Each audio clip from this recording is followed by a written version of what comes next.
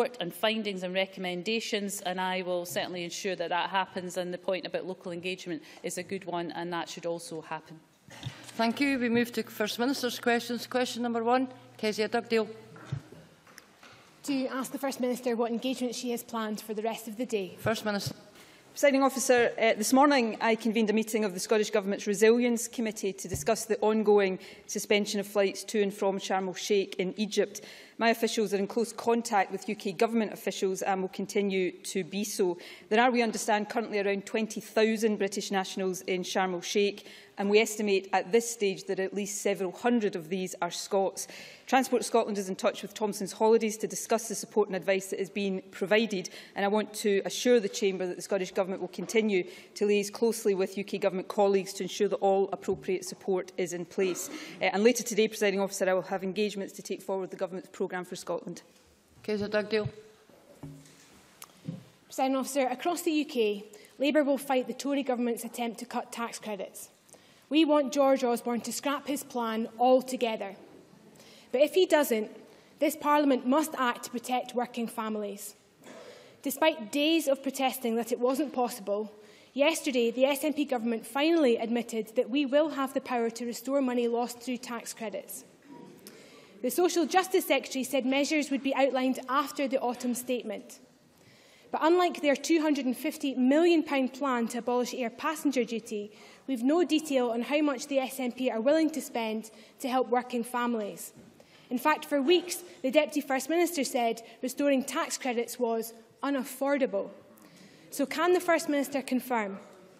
Does she agree with her Finance Secretary that spending hundreds of millions of pounds to make airline tickets cheaper is affordable, but restoring tax credits isn't? First Minister.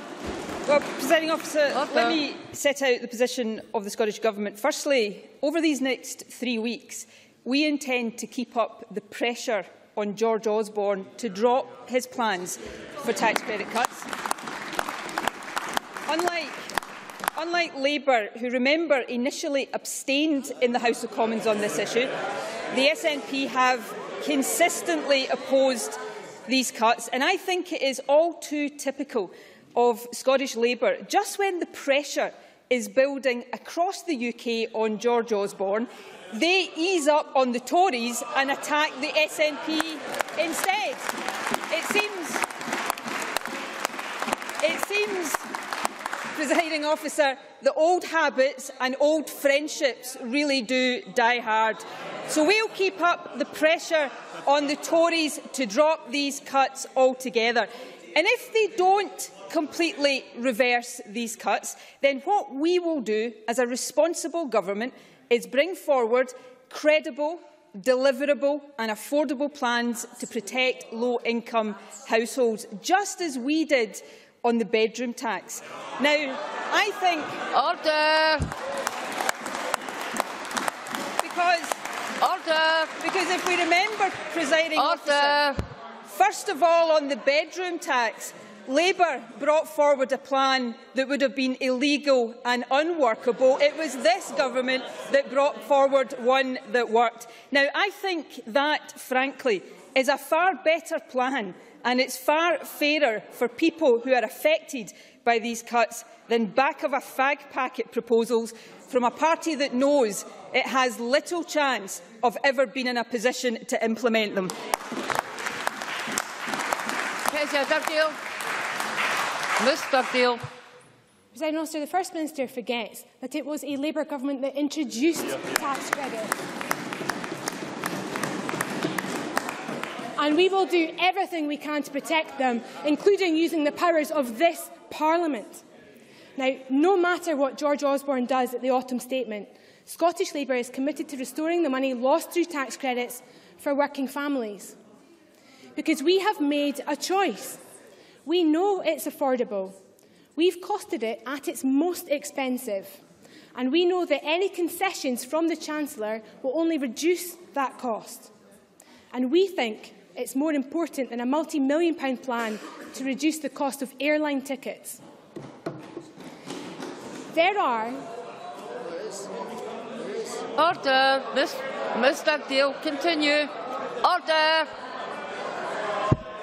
Order. Let us hear Miss Dugdale. Miss Dugdale.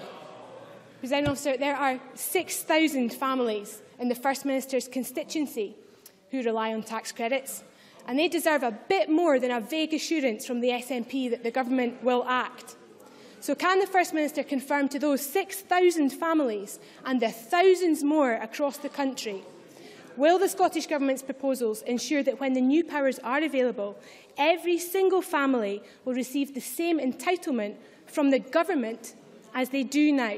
Yes or no? First Minister. Repeat. Let me repeat what I said in my first answer. We will continue to oppose these cuts at source. Order. Unlike Labour, who, when it came to a vote in the House of Commons, abstained on the issue of tax credit cuts. So we will we'll oppose the cuts. But if the cuts go ahead, we will bring forward a credible, workable, deliverable, affordable plan Order, to Mr protect low-income households. And can I say to Kezia Dugdale, the detail of this to families out there who are affected really matters.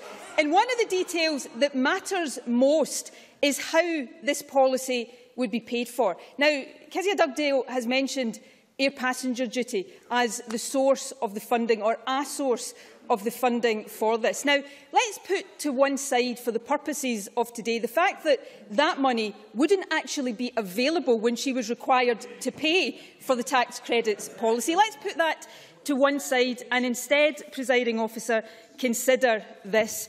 The day before Kezia Dugdale announced the policy on tax credits, here's what she had to say about air passenger duty. In an interview in the Holyrood magazine, the day before she announced her position on tax credits, she said, Labour will scrap the air passenger duty measure and we will spend that money on education. So in the space, in the space, presiding officer, Order. of 24 hours, Labour managed to spend the same sum of money twice over. Now, can I say, in all seriousness, to Kezia Dugdale, that is basic incompetence. And the people of Scotland, frankly, deserve better. You know, we've, we've known for some time that the public thinks Labour is unelectable. I think what we found out this week is that Labour thinks Labour is unelectable. It's less Keir Hardie, presiding officer, more Laurel and Hardy.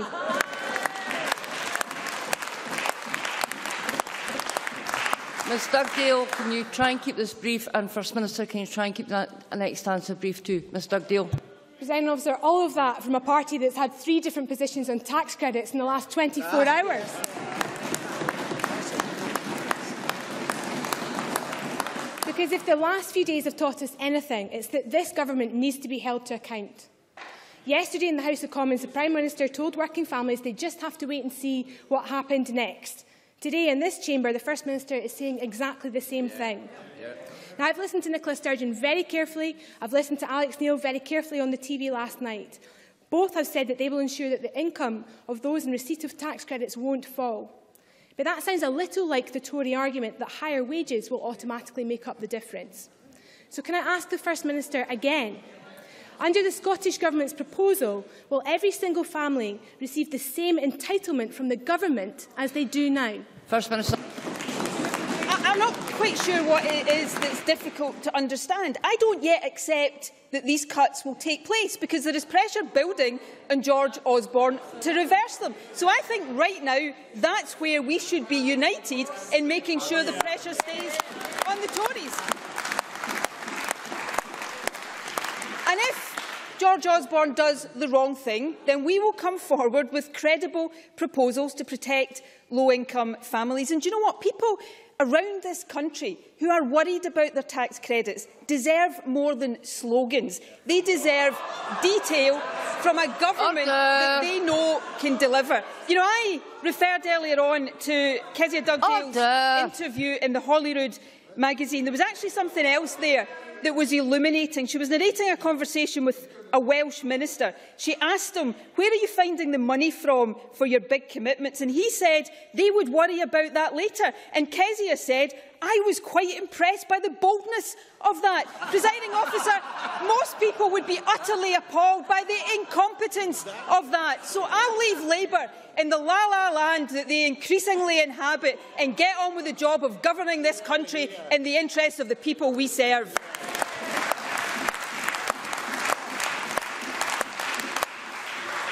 Briefly, Ms Dugdale.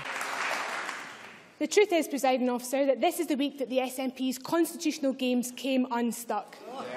Because after years of responding to every problem with complaints about the Constitution, Alex Neil finally gave the game away. For this was the week that the SNP had to admit that the new powers heading our way can transform Scotland. The week that the SNP had to confront the fact that difficult choices will have to be made. So will the First Minister now give up the politics of grievance? Will she now look to the future of what is possible, move on from the past and just get on with delivering a fairer Scotland? First Minister. You know, there's one place and one place only in the UK where Labour can be judged on their actions, not on their words. And in Wales, which I referred to a moment ago, Labour don't even mitigate the bedroom tax. That's the reality of Labour in government. So I'll continue, firstly, to concentrate on forcing the Tories to abandon these cuts. You know the reason Labour won't do likewise? It's because, in the words of their shadow chancellor last weekend, and I quote, the SNP is the real enemy. And there's the nub of this matter.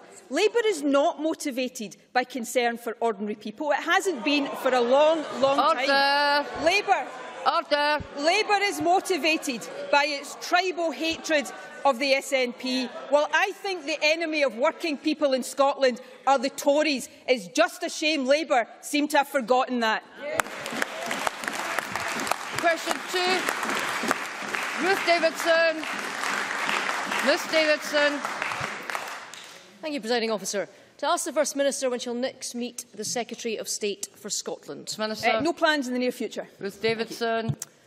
Presiding Officer, earlier this week, a leading group of education experts, led by Keir Bloomer, a former Director of Education, questioned this government's plans to help pupils from poorer backgrounds. Its report concluded that it was not persuaded that strategies that will be needed for success are yet in place. Presiding Officer, we all want more poorer pupils to be able to get the grades to go to good universities. This expert group says that the plans the SNP are putting in place simply won't do that. Can the First Minister tell me why these experts are wrong? First Minister. Well, I hope Kizzy, uh, Ruth Davidson, rather, I struggle to tell between them these days. I hope Ruth Davidson, even if she doesn't agree with my policy, would accept that I have made very clear how serious I am about improving education in Scotland and closing the attainment gap. I read the report she refers to with interest. I don't agree with every aspect of it, but I thought it was an interesting contribution. I'm actually meeting the author of the report, Keir Bloomer, uh, next week to discuss the report and how uh, him and the other uh, members of his team can contribute to Scottish Government thinking on this. So we are serious about this. That's why already we have more than 300 primary schools across the country already already benefiting from the additional resources of the Attainment Fund. It's why work is continuing apace on the National Improvement Framework, which, amongst other things, for the first time in primary schools, will give us the chance to actually measure reliably improvement in our education and the closing of the education gap. Now, we are seeing evidence of the attainment gap in Scotland closing. It's not far enough and fast enough for my liking, which is why I'm determined that we go further and faster. So I've said to Ruth Davidson before, and I say it uh, to everybody across the chamber, uh, I I'm open to suggestions. I always have been. I don't think I've had any uh, from anywhere across the chamber, but uh, there is no doubt whatsoever there is no doubt whatsoever that this is a priority for me and for my government, and it will continue to be so. Ruth Davidson. Officer, I thank the First Minister for that answer, telling the Chamber how seriously she now takes the attainment gap. She didn't, however, provide the full facts. Because under freedom of information, we have obtained the latest figures on the number of students getting three A's at higher, which is one of the measures for getting into a good university, and it is not pretty reading. We knew that the SNP government was not closing the attainment gap, but now from these figures, we know that that gap between the richest and poorest students is actually getting wider. In fact, in four local authorities, not a single pupil from the least affluent homes attained three A's in their hires, whereas a wealthier pupil is now seven times more likely to get three A's than their more deprived peers. We will publish all of these figures this afternoon. The First Minister has said she wants to be judged on her record. In education, her record is one of failure, and the experts say that her plans won't fix it. So I will ask her, how bad do things have to get before we see the action we need? First Minister. Well, as Ruth Davidson knows, uh, we are taking action and we will continue to take action. And I I'm not standing here, I never have stood here and said that there's not more work to do. That's why we have taken the action around the attainment challenge that I've already talked about.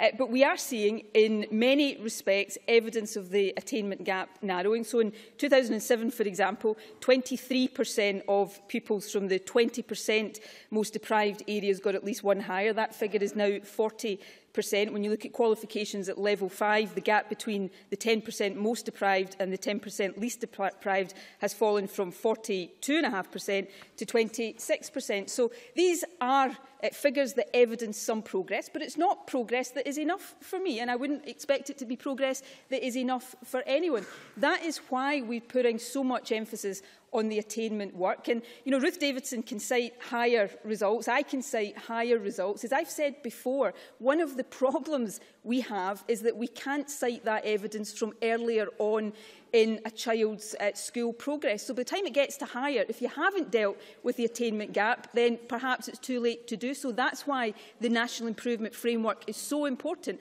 so that we can start dealing with this, not even in primary school, uh, but start dealing with in early years through primary school, so that we see the improvements later on in school uh, careers. That's the emphasis we're putting on this work, and I would hope Ruth Davidson would welcome it. Willie Coffey. Thank you, President Officer. The First Minister will be aware of the announcement by Stuttgart-based Mala Engineering in Kilmarnock that over 170 jobs are to be lost in the Bearings finishing department of Order. the business by January next year, and that the company plans to move this production to other plants in Europe, despite the renowned quality of the bearings produced by the Kilmarnock staff over many years and the solid performance of the company worldwide. Uh, would the First Minister see what intervention might be possible with the company in order to try to save these jobs and help prevent yet another jobs body blow to the town? First Minister. Uh, well, can I welcome Willie Coffey's question? I share his concern at the announcement of possible redundancies at the Mali Group in Kilmarnock and I'm sure this will be a very worrying time for all affected employees. I can confirm that Scottish Enterprise has offered support to the company and will meet with senior management next week to discuss it. I can also confirm that our PACE team will meet with the company next week uh, to discuss a tailored programme of PACE support for any employees who may be facing redundancy. So the Scottish Government will take any action we possibly can and I know the Enterprise Minister would be very happy to discuss it in more detail with Willie Coffey. Question three, Will Rennie. To ask the First Minister what issues will be discussed at the next meeting of the Cabinet. First Minister. Uh, matters of importance to the people of Scotland. This week, the Education Secretary had an online Q&A. Not one person agreed with Angela Constance about the national standardised testing. And the international experts at the OECD warned that the risk of national testing was narrowing the curriculum and teaching to the test. One of the issues is league tables. The First Minister told me she was against league tables, but she's told journalists that she's not going to stop them putting primary schools into league tables. If she doesn't want them, why is she going ahead and taking all the steps to allow them to happen? First Minister. Well, it may, may have escaped Willie Rennie's notice. I, I don't control the newspapers. Uh, perhaps if I did, things would be very different. Um, but, you know, there, there's something quite, for me, quite reassuring here because on the one hand, I've got Ruth Davidson telling me I'm not going far enough in terms of school reform. And on the other hand, I've got Willie Rennie telling me I'm going far too far in school reform. That tells me we're probably in exactly the right place in terms of reforming our schools and how we measure uh, the um, uh, performance of our schools and the attainment gap. Uh, I stand by what I said. I have no interest in crude league tables that offer no meaning to parents, nor do I have any interest in a system that would encourage teaching to the test. But I do think it is incumbent on me as First Minister to make sure uh, that children's progress is being assessed in a way that better informs the judgments teachers make about their performance and also that allows all of us to have a, a meaningful and evidence debate in this chamber and across Scotland about whether we are or are not making progress in closing the attainment gap. I think that is absolutely the right thing to do. We'll continue to discuss the detail of our plans with teachers, with local authorities, with parents and with others. But I'm determined, as I said to Ruth Davidson, that we do make real progress on this uh, and I'll push forward with it for that reason. Will Rennie? So league tables are coming and she's not convinced, she has not convinced one single person that she's going to stop them. The OECD say of equal importance is consensus building amongst the various stakeholders involved. But Professor Brian Boyd, who was a member of the Curriculum Review Group, said it was a retrograde step. Head teacher George Gilchrist said it's a definite step backwards. The EIS said testing would have a profoundly negative impact. The Parent-Teacher Council concluded testing does not raise attainment. Why is the government's approach to consensus building just to tell all these people they are all wrong? First Minister. No, uh, although I will tell Willie Rennie he's wrong. We're not introducing high-stakes testing. We're introducing assessment, assessment that is carried out in most local authorities anyway, in a standardised way so that we can use it appropriately. And it's assessment that will help inform teachers' judgments about the performance of children. And we will continue to work, as we are doing right now, with teachers and with others, uh, to uh, finalise how we will make use of that information, how we will publish that inform information in a way that doesn't uh, lead to crude league tables. So that's the way we'll continue to get on with this. And Willie Rennie's twice, I think, mentioned the OECD. We should, in the not-too-distant future, get the OECD's latest report on the performance of Scottish education. I look forward to receiving that, uh, and hopefully that will be a useful contribution to our ongoing work in this area. But this is an area I have said repeatedly and will continue to do so, is one that I have set as a priority and I'm going to continue to treat it in that way. Question 4, Kevin Stewart. Thank you, President Officer. To ask the First Minister what the Scottish Government's position is on how the UK Government's latest amendments to the Scotland Bill could impact on the governance of Scotland. First Minister. Well, I think it's been quite interesting this week, is it not, that a bill that was claimed to deliver the vow in full when it was first introduced needed so many amendments to make it supposedly deliver the vow now. Uh, now, I think the amendments improve the bill in some key areas, particularly the late amendment that was lodged uh, yesterday by the UK Government. I think it still far, falls far, far short in other areas. Uh, but of course, in terms of whether the bill delivers on promises made, it will be for the people to be the judge of that in the election next May. Uh, SNP MPs will propose further amendments in the House of Commons next week, including one to deliver real power over tax credits in their entirety, and we call on all members to support those. More generally, our priority now is to agree a fair fiscal framework so that we can get on with using these new powers for the benefit of the people we serve. Kevin Stewart. Thank you. Uh, the Scotland Bill goes nowhere near delivering on the Smith Commission proposals, never mind fulfilling the vow. Does the First Minister share the view of a number of third sector organisations that the proposed devolution of the work programme, while Westminster, Westminster retains power over sanctions, are incoherent and illogical, like so many other proposals contained in this bill? First Minister. Uh, yes, I do. Benefit conditionality and employability, as anybody knows, go hand in hand, and they should have been fully devolved to the Scottish Parliament. And Kevin Stewart is right to point out that many stakeholders called for that. I think that is symptomatic of the approach that the UK Government has taken. Uh, the employment provisions in the bill do fall short of the Smith recommendations. Uh, there's no justification, in my view, for insisting that we wait 12 months before stepping in to help someone who's unemployed. The social security provisions in the bill are still, uh, notwithstanding welcome improvements, uh, are still full of qualifications and constraints, including, most importantly perhaps, those on benefit sanctions. Uh, the sanctions regime has been shown to push people into crisis, and it's one of the main drivers of food banks, which is why uh, we've been very clear that there's an urgent need for a full and independent review of the whole sanctions system. Annabel Goldie. Officer, given the shambles we saw in this Parliament in yesterday's welfare debate from the SNP, with the First Minister's colleague Mr Neil confirming in reference to the Scotland Bill and his desire to reverse tax credits that, and I quote, the amendments that were tabled today should give the Scottish Parliament that power, only to subsequently move an amendment in his name in this Parliament that said the exact opposite? Does the First Minister agree her government needs to move on, stop caterwauling at Westminster and start telling us, start telling us how her government Ms Goldie. Start Conclude. telling us how her government will actually use these extensive new powers. I have to say, presiding officer, 10 out of 10 for sheer brass neck from Baroness Goldie.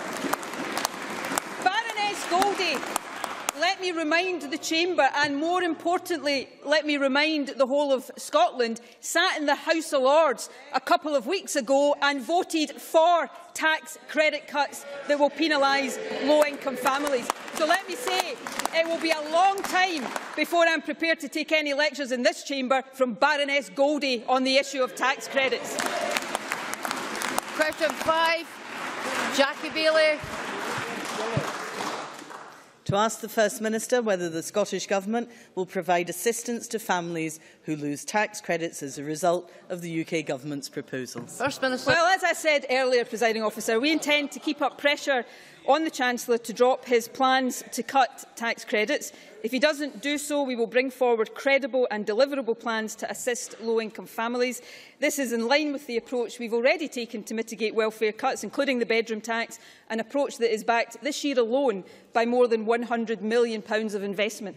Jackie Baillie. Can I say as gently as I can to the First Minister that this isn't about her, it's not about the SNP, it's not even about the shambles that we witnessed from Alex Neil yesterday. This is about the 250,000 families that are set to lose £1,300 a year due to the Tory cuts to tax credits. Protecting income is not the same as restoring tax credits in full. Her careful language tells me that she knows this. So let's cut through all the words. I only require a one-syllable answer. Will the First Minister help working families and restore every penny lost through tax credit cuts? Yes or no? First well, Minister. Jackie Baillie is right. Order. Here's, here's words I never thought I'd utter, presiding officer. Jackie Baillie is right about one thing.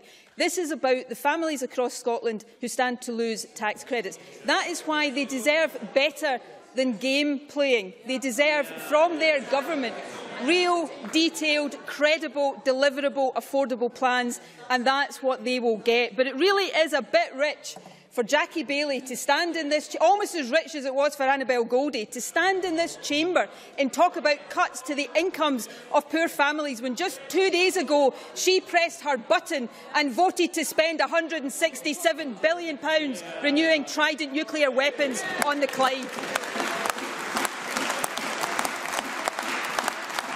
Question six. Murdo Fraser. Thank you. Uh, to ask the First Minister at what level the Scottish rate of income tax will be set.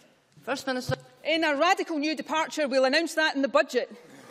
Murdo Fraser. Thank you, uh, Presiding Officer. At the weekend, the Scottish Labour Party of Jeremy Corbyn announced its plans to raise taxes on the Scottish people. The Scottish Conservatives will vigorously oppose any moves to tax families or businesses in Scotland more highly than the rest of the United Kingdom. So where does the First Minister stand on this issue? Will she join with us and today rule out, rule out higher taxes on families and businesses in Scotland? Yes or no? First Minister. You should you should advise uh, your colleague Alex Johnstone when you're encouraging me to join with you, you shouldn't have him sitting leering at me in that kind of strange way that he's just done. It is extremely, extremely off-putting. Order! Anyway, presiding officer. Order. Presiding officer, if I can recover my composure for just a second.